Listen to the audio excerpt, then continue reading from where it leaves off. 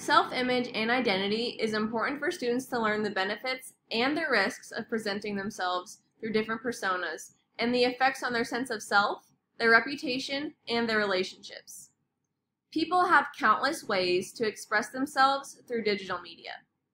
Although being creative and expressing who you are is great, kids can push their limits when they're behind a screen and act in ways that they wouldn't necessarily act in the real world.